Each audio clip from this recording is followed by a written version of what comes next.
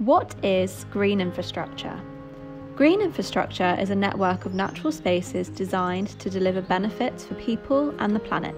This includes more good quality parks and green spaces, more connected green routes and corridors like footpaths, cycle lanes, rivers, and canals, more nature in towns and cities like wildflower meadows, street trees, ponds, and green roofs. Green infrastructure could be the solution to some of the biggest challenges we face as a society, as well designed green infrastructure brings many benefits, such as supporting people's physical and mental health, aiding nature recovery by giving wildlife a helping hand, combating climate change by storing carbon and providing green cycling and walking routes reducing water runoff during flooding and providing sustainable drainage, improving urban areas and attracting investment to benefit communities, all while connecting more people to nature.